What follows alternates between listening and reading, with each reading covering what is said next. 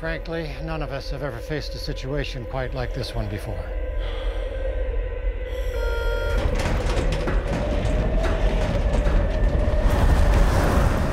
But I would not be asking any one of you to take this leap if I did not have complete faith in your ability to succeed. Your courage will never be more needed than it is today.